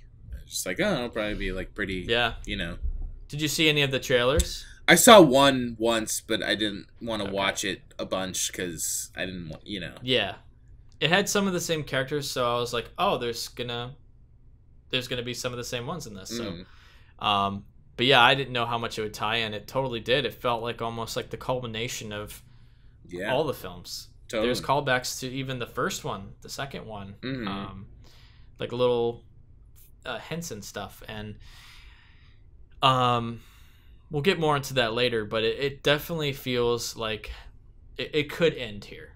I would I. I kind of don't want it to. No, but I- totally not. Um, Is that the plan? I we don't know. There's no plan yet. Yeah, just keep fucking like- milking that cow, man. The thing is, every time I'm like, oh, they're making another one? And I go, Yeah. oh, maybe it'll be good. And then I go see it and I go, yeah, show was good. you know? And then I, I like forget Yeah, how good, good. they are. You know what I mean? I feel like it's just sneaked up on everyone. Like it's one of the best action franchises ever. Definitely Like hands most down. consistent. Like it's just Very rarely- raising the bar. Yeah, very rarely are the second three widely considered better than the first three. Yeah. You know what I mean? And I Like, think they that's are. like not a thing that happens. you know? I think this is the best one, in my opinion. Yeah, I don't know. I, I need to see Rogue Nation again because I, re- I remember it very fondly. Rogue Nation's really good. Yeah. Really, really good. I, I, like that. That's the one. I watched it a couple days before I watched. I watched it, Mhm. so it was like a nice. That's the one with the cool for 'em. like opera flute gun, right? Oh, it's yeah, that's amazing. Yeah, it's so good. One of the best. And also the Um, weird like record player thing in the beginning. Is that Yeah. the one? Yeah. Yeah. Okay. Yep. This is where the the guy with the beard. That's where he came from. He's the he's the villain in that. One. Mm-hmm. Yeah, totally. I remembered he was in it, So- but I just Yeah. don't remember like all. You know, Yeah. I was just like when it was starting, I was like, yeah, I probably should have watched that. No, we'll watch it again now. Like it's it's. you get those 4Ks? No, I I had just bought the Blu-ray set before they announced the 4K. Oh yeah. I think we talked. Yeah, so I'm like, eh, it's fine. I'm not. I just bought the Blu-ray set. I um a few months back I rewatched all of them. Mm-hmm. So I it was they're all they were all pretty clear in my head by the time I watched this because I wanted to be I was excited for this one. Yeah, So yeah. um I wanted to be prepared and I just wanted to rewatch all of them. It had been years since I'd seen like the first one, the second one. Um Yeah. Be very curious to watch So- two again. it's it's pretty bad, dude. Yeah. pretty bad. I talked about it on the show when Yeah. I was rewatching them all. No, I remember. But uh yeah, it's bad. At the same time, I kind of want to watch it again too, just because like it's so outrageous. Yeah, totally. But in my opinion, it's the worst one out of them. But, Seems uh, to be the general. It has some good- Yeah, but it has some good iconic stuff in it. I like. I can say I'm a fan of the franchise, and that being said, you know, I think it's a bad movie. I still like. I have a fondness for it. Yeah, still, totally. You know. Um. But anyways, um, let's let's get into. What do you think? Any last thoughts before we get into spoilers? Um. Hmm. Ving Rhames is good. Henry Cavill Yeah. is a fucking beefcake hunk, man. That guy Oh my is a fucking piece of meat hunk. Like, Yeah, like seriously. such a thick, wide man that is just Dude, chiseled. He's Superman. Yeah. he's fucking. But he's like way bigger than he was as Superman. He looks like a giant in this movie. Like he looks like uh I don't know, like a Frank Miller character. he is. you know what I mean? dude. Just like super broad, and, like you ever thick see? arm. You saw Man from Uncle, right? No, I never did. Oh, you should check it out. Yeah. He's that's like similar spy type Mhm. film, but more comedic. Takes place in the '60s. I've heard it's good. He's big in. It is. It's it's entertaining. Um, he's big in that, but then um, he even looks small next to what's his name? The other guy in that movie. I don't know. Yeah, I don't remember. Damn it. He was in. He was in. Sorry to bother you. Armie Hammer. Oh, okay. Armie Hammer looks even bigger than him, so it's like Damn. Damn, Tom Cruise is pretty small, which we knew, but like that would ruin our perception of him, I think, if we saw him together. Anyway, um, yeah. Any last thoughts? No, I think we covered most of it. Yeah. Alec Baldwin's kind of outrageous, but still fun. Like for the Yeah. most part, everything that was outrageous was fun. Also, I think maybe not for me is clo- closer to the end, but like Mhm. there's like a heightened sort of like taking things. I mean, there's serious things that they're talking about, but it just sounds so funny at times. Just like, wait, where's the plutonium? You know, and it just like you know, it's like it's it's silly, but like Yeah, it it the tone. I think they find they like really nailed in a sense. Like even the tones. the great. opening credits are amazing. They're amazing. They're so good. Like They're it- amazing. the really intense score, and it's literally just fire. There's a wipe like every second, and it's just It's like the flare. giant like text, and it's just like such an action movie opening, and it was like yes, you know what I mean? Like Dude, it's iconic. It's like that Mission Impossible spy action iconic opening. mm, Rogue Rogue Nation had the same thing. yeah, totally. I feel like this I one played it played up like the um, it was just like a little more. You know what I mean? It was like heightened a little bit more. So it like it felt they got the like heightened fun vibe. It's also perfect. It's also perfectly placed too. yeah, just like, totally. Mhm. You know, that's part of it. Um, two more thoughts I have before we get into spoilers. Real quickly, uh, one, I wish Rebecca Ferguson's character had a little bit more to do. Yep, I'd agree. She had a major part in Rogue Nation, and um, I think that's that's one of the stronger parts of the film. I wish she was had a little bit more to do th- in this one, but either way, I'm glad she's in it. She's fantastic, um, and it's directed by the same director. Same Yeah. director as Rogue Nation. Mhm. First time it's ever happened in Yeah. this series to the same director do two back to back um he had some concerns about doing this again because he knows like the fans might backlash against that or whatever Mm-hmm. so he actually tried his best to make this movie feel like it was a different like made from someone else Yeah.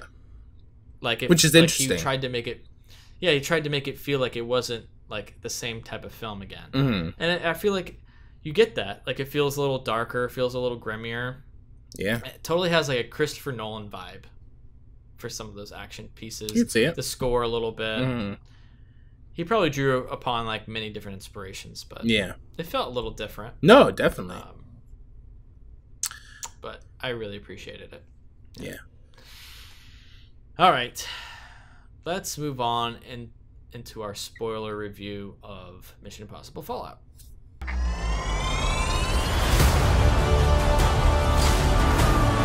When the clock stops, Ethan Hunt will lose everyone he ever cared about. You don't understand what you're involved in. You need to walk away. Please don't make me go through you. Ethan, that's not who we are. Maybe we need to reconsider that.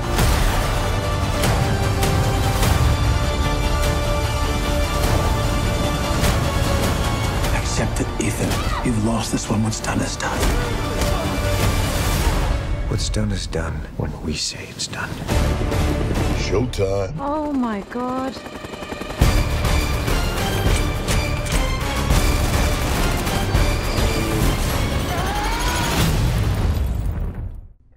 I gotta say, I one big thing I had against Rogue Nation was Mhm. that the one of the strongest scenes was the very first scene, and it With the really- plane.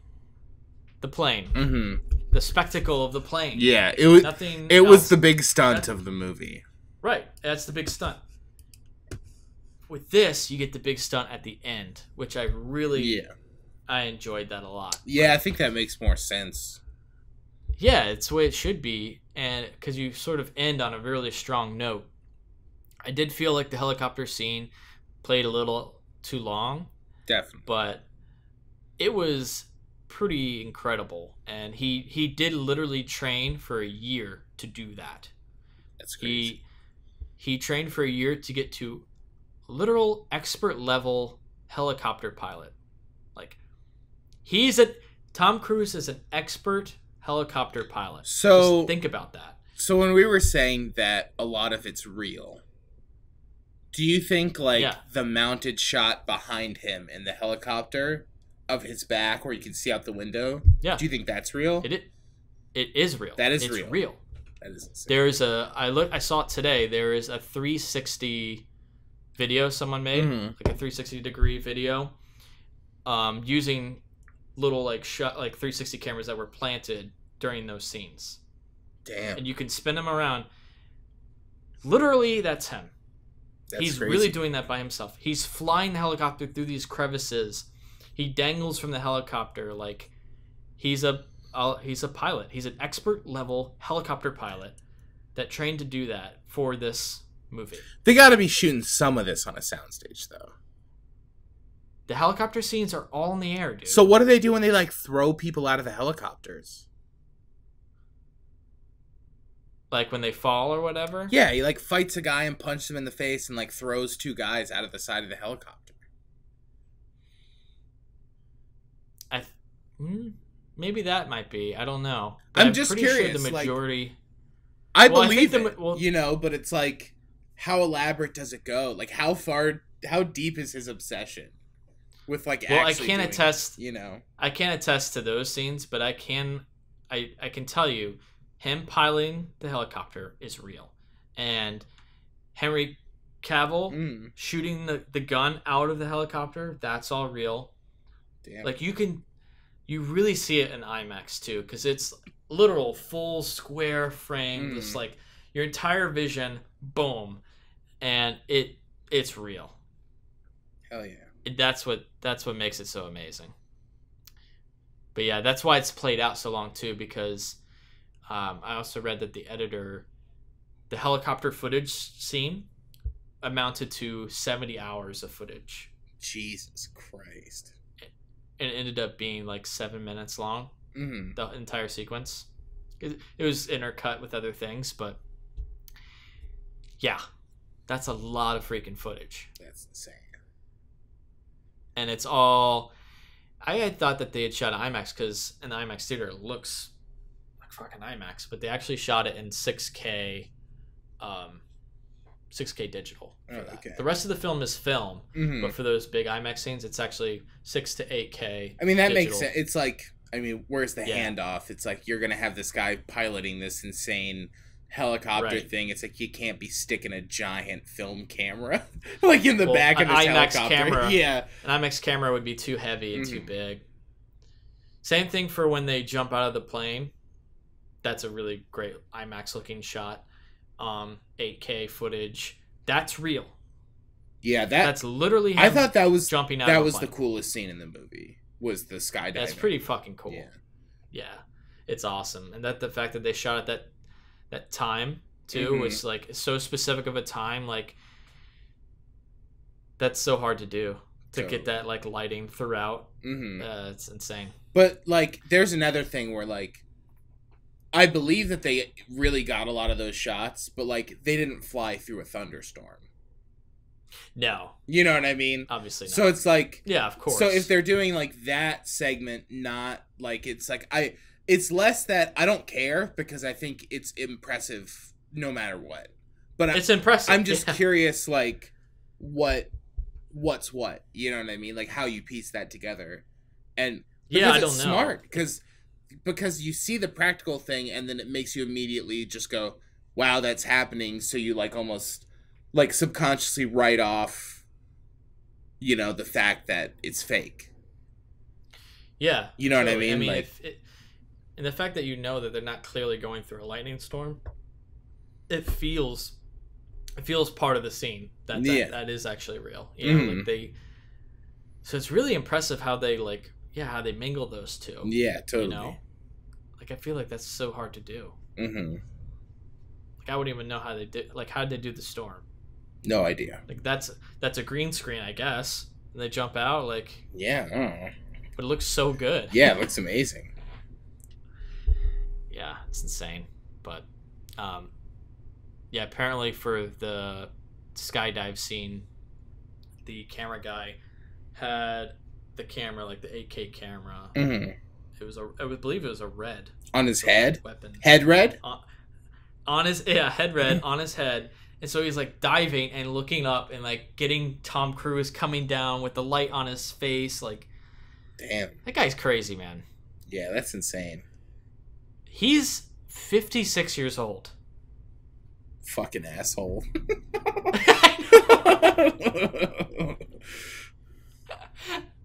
I'm almost 30 and I'll never be in that kind of shape or that attractive at that age. Like, Yeah. you know what I mean? Like, totally. he is a, a monster. I, I don't get it. It's Mhm. crazy. Yeah, it's fucked. Like him, that one scene where he's just like running, he's sprinting. That scene was amazing too. The, the foot chase. Yeah, yeah. Yeah, that was really good. Like he, it's a 56 year old man sprinting at full. yeah, and you can tell he's like, yeah. He just like looks like flat. He's like a flat curve. Like his whole. yeah, It's weird. I can't even do that for 10 feet. No Imagine way. No way. Miles. yeah, I really enjoyed that scene. That was cool. yeah. It just the the action feels seamless hmm and it's just nonstop. Yet there's the perfect amount of pacing for when you get to take a breather for a second, and then it goes starts Yeah. up again. You know. I would say for me, it kind of started to dwindle a bit at like the big switcheroo segment where everyone's switching up everyone. Yeah. Like- the double crossing. Yeah, like up till that point, all in. Like, fuck Mm. yeah. Had a big ass smile on my face the whole time. And Yeah, then it's so good. that was like, okay. You know, like, I get it. Everyone's double crossing. And Yeah. then there's like that gunfight, which was fine. But I don't know. That's when they go to London, right? They like go to meet her in London or whatever, and they're gonna make the switch. And then they don't, and then the whole Henry Cavill escapes and they go track him. Right. Well, I think it's uh, well they go from the gunfight scene. Henry Cavill gets away there Yeah. in the gunfight, and then they they immediately go to um, is it Kazakhstan or something like yeah, that? Yeah, wherever that place is. they they go there Yeah. to that camp. That's the next place they go. Totally. Yeah. Yeah, so I would say just post the switcheroo was the um where I was like okay. And also just knowing when all that's happening, it's like, man, there's still that big ass helicopter scene to happen. Yeah. Just like I know, shit, there's a go- little there's like 45 minutes left in this fucking movie. You know what I Yeah. mean? And I've already It's a watched long- like it's a, a whole long movie. movie's worth of stuff. It's a long movie. They they, they definitely pack in a lot of scenes in there. Because the helicopter Um, fight itself is amazing, but Oh, it's incredible. it's just like takes so long to get there, and then Yeah. after it crashes, it's like so long till I know. and it's like everything is so heightened. Like the remote has to be right on the edge of the cliff. The the hook has to grab the thing and like they're dangling. Of course. You know what I mean? It was like I could have just stood for like them to crash and just have a fist fight and he just like punches the shit out of him and wins. You know what I mean? Like Well, that's what I mean. Like the helicopter scene went on a little too long. Yeah. Like the helicopter chase was too long. Um, so then by the time that like the actual chase ends, it's like, oh shit, now there's this whole other thing where he has to like fight him, you know, and it's like okay. It just kept like being I mean, like like it's crazy. You feel like it's a whole, it's a whole other movie's worth of action. yeah, you know? seriously. You could take where they go to Kazakhstan through the rest of the movie, and that can be half of one, Yeah. one other movie. Definitely. You know, it's crazy. Yeah. It's wild. Um, yeah, it's it's really crazy. One thing we didn't talk about, I thought the uh, fight in the bathroom was pretty badass. Oh, definitely. Yeah. It was great. that was like a really good scene. Mhm. Um, another part there with seeing an IMAX, the the sound in that scene was Yeah. just whew, felt in your chest, like So those um, punches just sure, like even- real hard. just oh yeah, just and the, the against the against the um uh you know against the toilet head like slamming Yeah. their head down or on the sink or whatever just like every hit like felt Mhm. like it hurt you know? Totally. um but like act, the action and like the choreography was really cool as well Yeah, that scene was that awesome. scene. All the action scenes up to the helicopter one were incredible. The foot Oh, yeah, chase, so the motorcycle chase thing. Um, Yep. Although I think I think the motorcycle scene doesn't live up to the one that's in Rogue Nation, yeah, which is like one of the most impressive action scenes in years. I remember that being very cool. I would need to It's rewatch it, but I did think that this one was shot really well.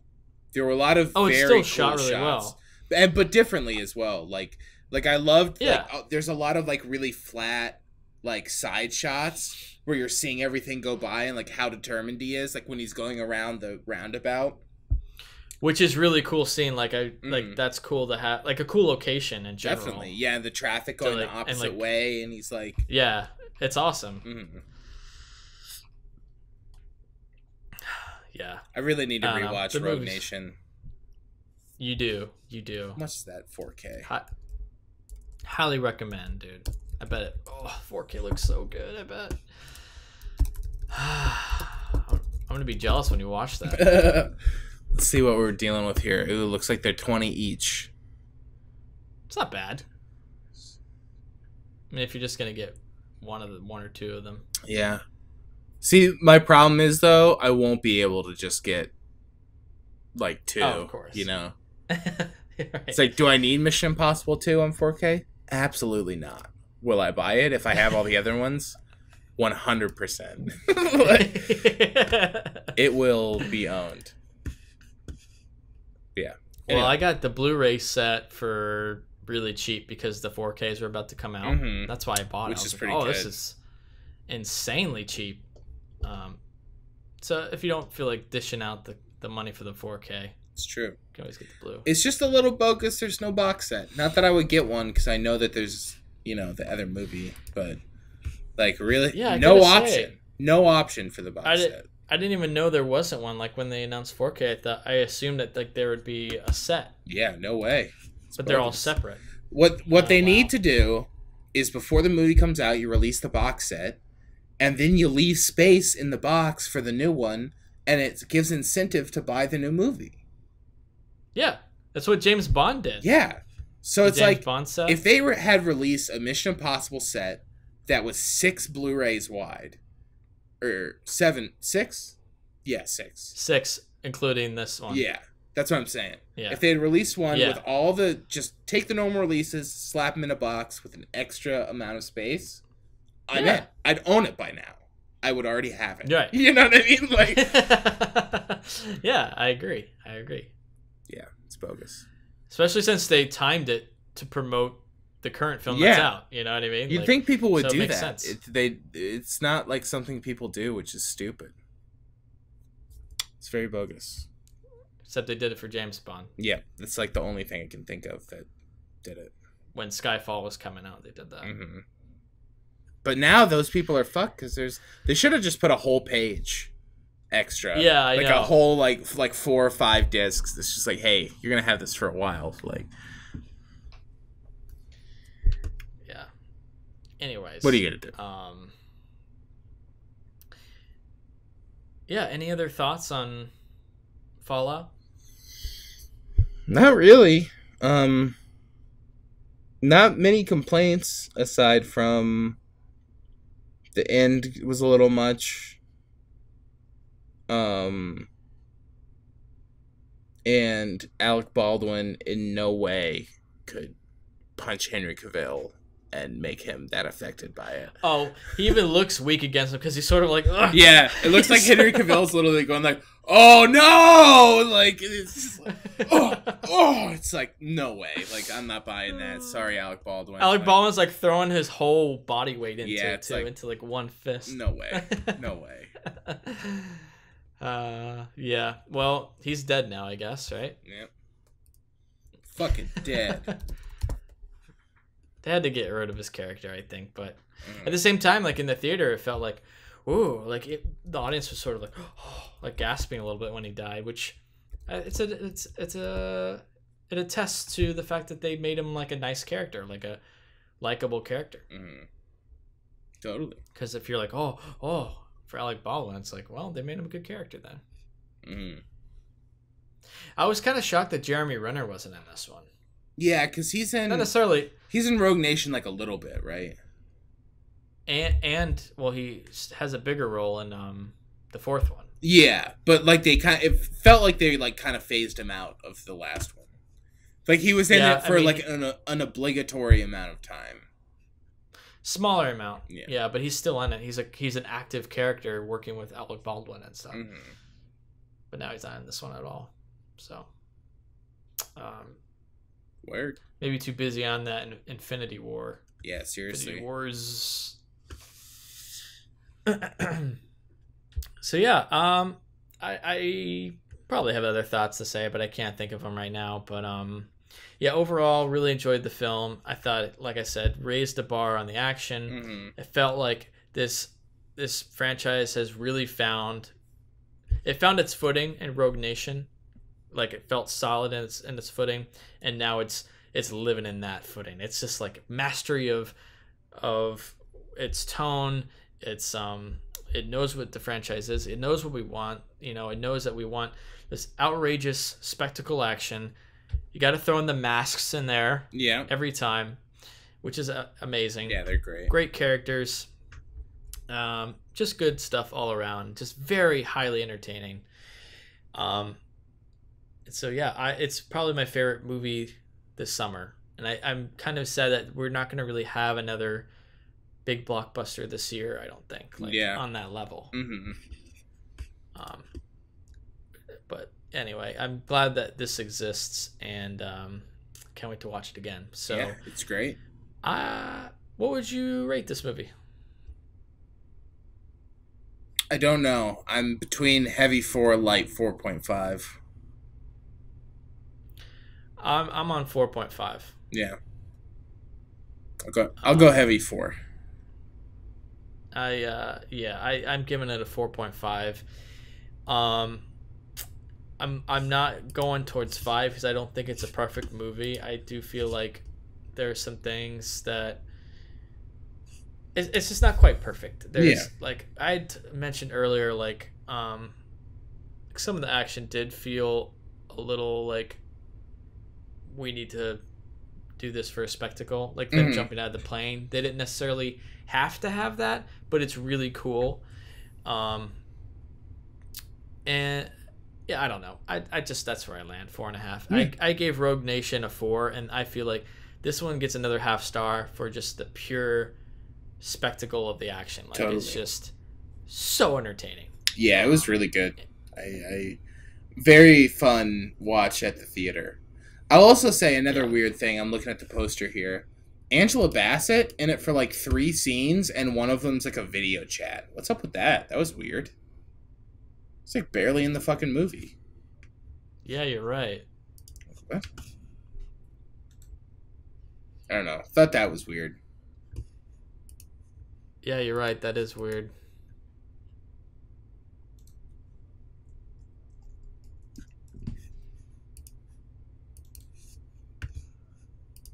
Well, she had some scenes that like she was interacting with Alec Baldwin and stuff.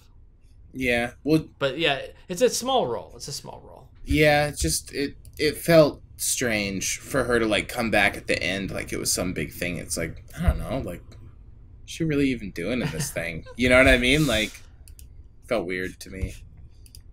Yeah. That's it. That was the only other thought I had. Yeah, and like I said earlier, I wish Rebecca Ferguson had a little bit more to do. Yeah. Um, but one thing we didn't comment on, which is like we were saying, culmination of all the other stuff, is like his wife came back. She's from the. Oh yeah. Totally. Um, having her back and sort of wrapping that up, like Mhm. we never really talk about what happened with them. Um, I like how they wrapped that up. Yeah, They, like I th- ended that story and Yeah, it was Yeah. it was nice for the it to come back.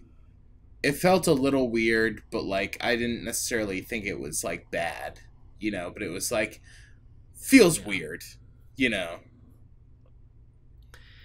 Yeah, But I it guess- does feel a little weird Or- too with like his sort of. There's some tension, obviously, with him and Ilsa Mhm. Faust, and even Ving Rhames' character is like he really cares about you Yeah. and stuff.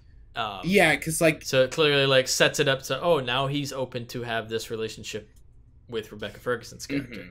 yeah, like at the end when she's there and she like leaves and then it's just like, "All right, cycle in the other female character." And he's like, "Okay, yeah." you know what I mean? It's like felt a little Yeah. strange. But um so another thing though real quick, so was it that she was like placed there intentionally for the purpose of this? Like this was the guy's master plan or is this just a coincidence that he decided to bomb this cuz she was there? I think it was a coincidence that she was there. That's the impression that I got.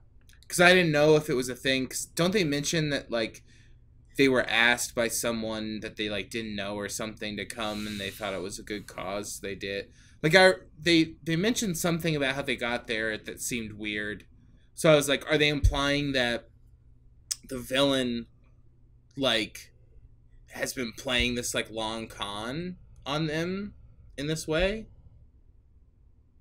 Because I don't know what the timeline is. Uh, Like, no, no, he because he didn't really even know about her, and also when you when it comes down to it, the main villain guy was Henry Cavill. He's the one Yeah. that planted the bombs and all that stuff. The guy with the beard, well, no, They they know they do know about about her though because he has the picture of her. oh yeah, you're right. So like, He does know about So it. like was she sent there by them because they knew that this place is a good place to bomb because of like the irrigation system and all that? Or was she there so they decided so they decided to bomb there? You know what I mean? It, it's like Yeah, it's a little the weird. Way it works clear. Out is know. like a little convenient and i can't tell if it was like intentionally so or it's just convenient that like that works out that way you know what i mean Yeah, I don't. I don't know. I don't know. It just sort of does feel a little convenient, Mm. but I think it's so. Yeah, I think it's probably a convenient thing to wrap up the plot line. because it, But, it does seem plausible that like they lured her there because that one guy's like obsessed with revenge on him Right. so if Well, and he he's in wants to- cahoots he wants to peg everything on Tom Cruise's character. Yeah, so like if he and make him like suffer and you know what I mean. It Yeah. makes sense that if he's in cahoots with Henry Cavill and Henry Cavill knows that she exists, that they would do something to get her there so they could kill her in this bombing. And make him know about that. You know what I mean? Like that doesn't seem out of their wheelhouse or they they seem Yeah. capable of doing that. Yeah, I don't know. I don't know. Somehow it's foggy on. Um, yeah, it's there's some there's some things that are a little foggy. It, there's just a lot that happens. Yeah. there's a lot that happens. It's sort of hard to exactly place everything. I need to watch it again. Totally. Get that It's 4K when it comes too. out, baby. Oh my god, it's gonna look so good. It's gonna look very good. I'm glad they shot it on film too, for Mhm. the majority. Yeah, it looks very, Pretty looks awesome. very nice. Um, all right, that's Cool. that's gonna wrap it up for our review. For show. Um, so Zach, where can people find other episodes of this podcast? Um, sorry. As always, you can find our other episodes on iTunes, Apple Podcasts, Google Play, Stitcher, and YouTube. You can um, also follow us on Facebook and Twitter. And if you enjoy the show, please consider leaving us a review on iTunes. Every rating, especially five star ratings, they bring us to more listeners You can on those platforms. you can also email us at yeah, you can also email us at listen to us rant about movies at gmail.com. And thanks to our Patreon producer Sean Pierce and your Patreon supporters. You guys can also be a, producer and or supporter of this podcast by visiting our Patreon page and becoming a monthly patron for as little as $1. Visit www.patreon.com slash LTURAM podcast. All right, Zach, that's going to wrap it up for today. It was a good talk. Yeah, good chat, man. All right, man. Until next time. Until next time.